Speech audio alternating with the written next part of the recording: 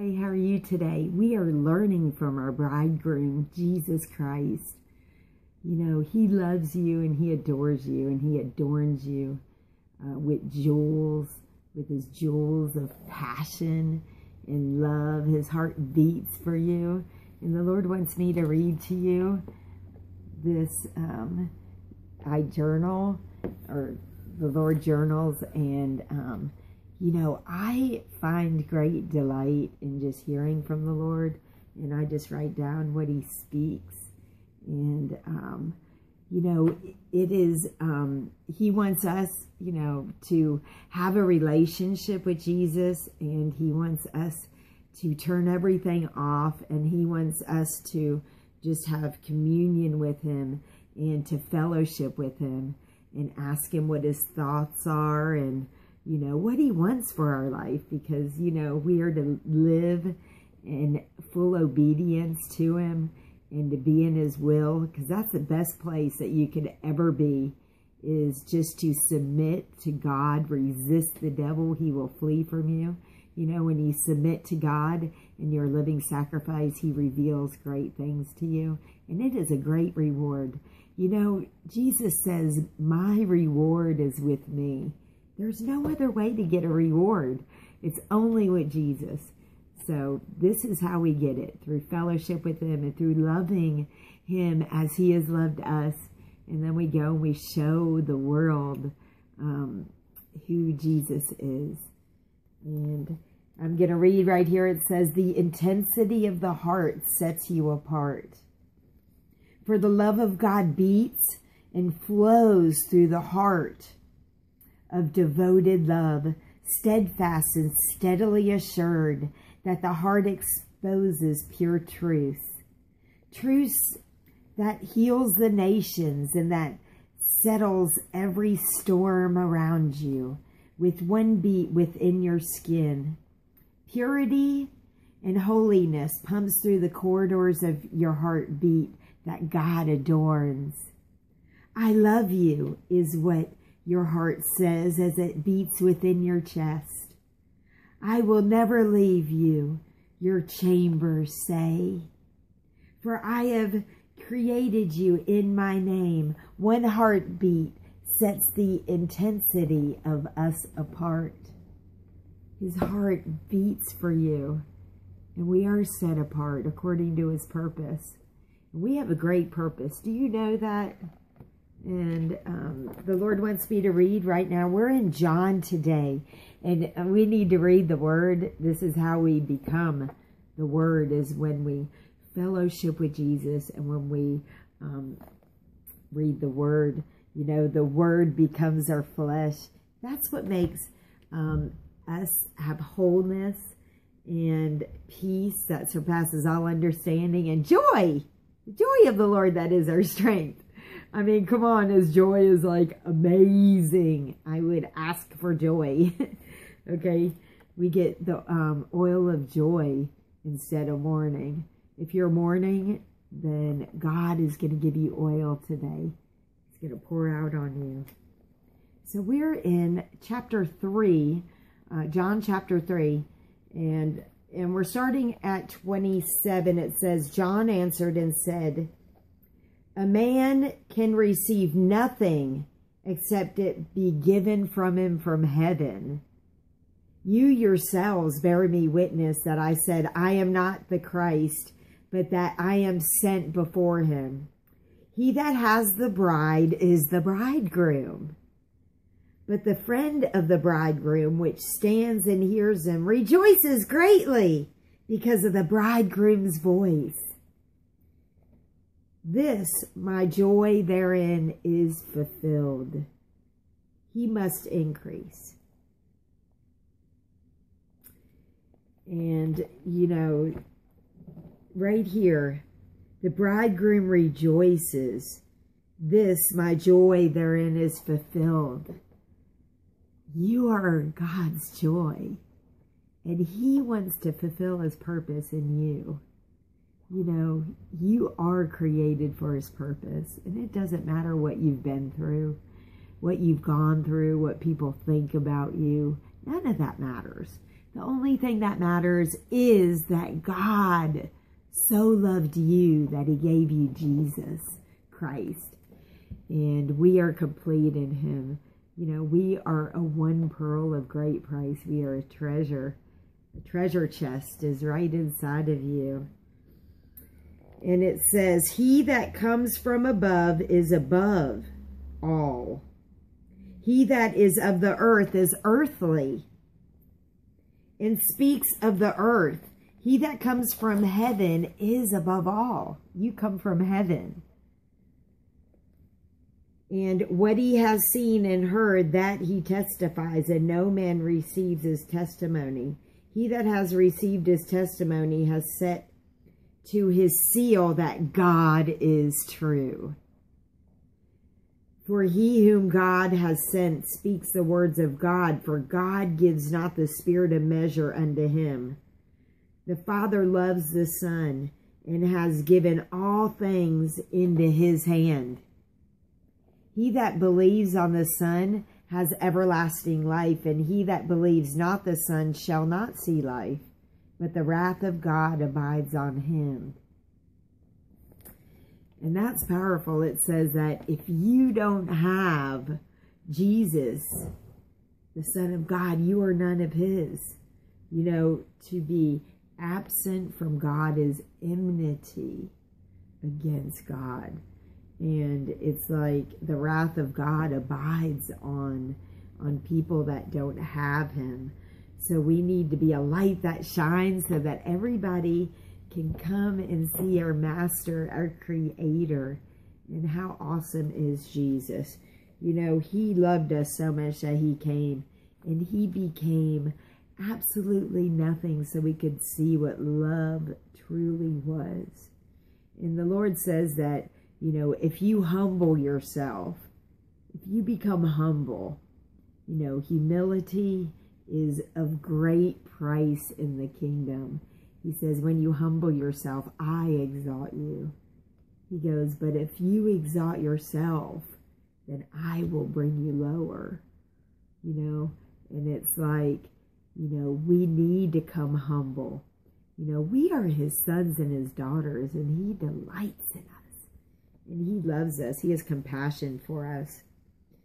And and do you know that people in this world they need to know who Jesus really is. You know, the compassion, the loving God who loved us so much that he came and got us. You know, there is therefore no condemnation for those who are in Christ Jesus who walk according to the Spirit, not of the flesh. Because what is flesh is flesh and what is spirit is spirit. And it's like those two cannot enter into the kingdom of heaven. It is only the Spirit and, um, you know, the great works that we are to do for Jesus because he is worthy of it all. You know, he is worthy of every breath that we take, of every step that we take. And, um, and he is, you know, above all things, he is worthy. And, um, wow. Awesome. You know, and just go out and say, Silver and gold have I none, but such as I have, I give unto you. And um, in the name of Jesus Christ of Nazareth, rise up and walk. You know, we can be a light to people and say, hey, you know, I don't have, you know, all this riches of the world, but I have riches that exceeds everything that this world could ever offer you. Silver and gold I have not, but I have, you know, I have Jesus Christ of Nazareth. Rise up and walk. Rise up and, and, and have life. Rise up, blind eyes. You know, the scales fall off you know, deaf ears open and the kingdom of God is found. And Jesus wants us, you know, to become his light. You know, this is, you know, the time for the harvest and the harvest is ripe and plenteous. And he says that when you go out there, he says, you know, when people look at you, he wants everybody to just say, hey, if I've seen you, I've seen my Father also. That's what Jesus uh, wants to say. So he wants us to become like him. He wants us to be the bride of Christ so that everybody can say, hey, I see who Jesus is inside of you. And that's what I want. And, um, you know, all of creation is groaning, you know, for the manifestation of the sons and the daughters of God to rise up. And, you know, we are warriors. You know, pick up your sword, go out there, kill the darkness. You know, you have it inside of you. He says, if you have a faith of a grain of a mustard seed, you can tell a mountain to be plucked up and removed, and it has to obey you because everything has to come into your, you know, your thoughts is what's going to happen around you. You know, what a man thinks, so is he in this world. So whatever you think is what you are. So do you do you think that you are a high priest and a king unto Jesus Christ? Do you think that you're the head and not the tail? Do you think that you are above and not beneath? You see, you have to you have to think on these things. You have to think that you are the glory of God. You have to think that you're the apple of God's eye. You have to think on these things. And when you think on these things, this is what you become. And this is how everybody will come to know and to want to come into the kingdom of God. You know, they they want to see somebody, you know, who is beholding the glory of the Lord If you're born again and filled with the Holy Spirit, he said, you know, we have every single thing that we need. Uh, do you know who you are? Do you know whose you are? I mean, come on. Do you know that uh, God fills all space, that he holds the whole world in the palm of his hand? How big is our God? You know, and you're worried about, you know, what you're going to wear and what you're going to eat when the Lord says, I will never leave you and I'll never forsake you. I mean, we need to not let the cares of this world and the worries of, of things and, and uh, the pride of life and the lust of the flesh or any of these things come in and um, take what is clearly God's because God created you before the foundations of the world were ever formed. Do you know that you were created before you were even in your mother's womb? And you are going to live forever, like even after this life. Uh, we are going to live forever and ever. We're never going to die. Okay? So we need to think about, you know, what we are doing in this life and what we can do to help one another in order for the kingdom of God to come into fruition. You know, we need the spirit of fruition. We need the manifold um, sons and daughters of the high God to come and rise up and stand up and to take captivity cap captive. You know, we are more than conquerors through Christ Jesus who loves us. You know, you need to know who you are. We are warriors. Do you know that we have all that it takes to subdue nations, to stop the mouths of lions? Yes, you have it inside of you.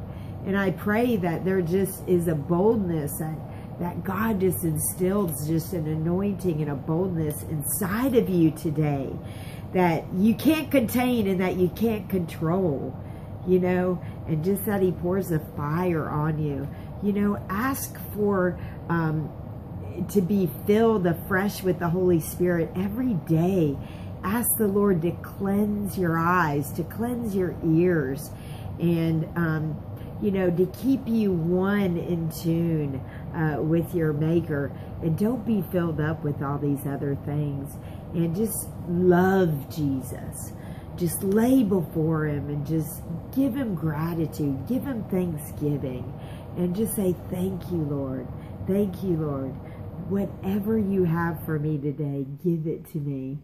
And he is a rewarder of those who diligently seek him and he says that he turns all things around for those who love him, for those who are called according to his purpose. And he his eyes are moving to and fro on the face of this earth, saying, Who is going to stand up? Who is going to rise up and know who they really are? Um, you know, he is looking for a bride without blemish, and he wants us he loves us. He desires us above all things. And do you know when you see who Jesus is, you know, you, nothing else matters. I mean, if you really know who Jesus is, it's like, what is anything compared to that? You know, and I count it all as nothing at all. I count it all dung just to know the excellency and the supremacy of Jesus Christ just to know him and to have other people know him, you know, that is the riches of glory. You know, that is the hidden earthly treasure that God desires us to have. That is what life is worth. And that is what makes this um, breath worth breathing is Jesus, that we can give him a kingdom and give him his sons and daughters and just say, Lord, don't weep anymore for your sons and daughters. Here they are. Here they are. And that's just what I long to do, you know. No more wiping any tears away from Jesus' eyes so that you can give him his reward, for he gets the reward. God bless you.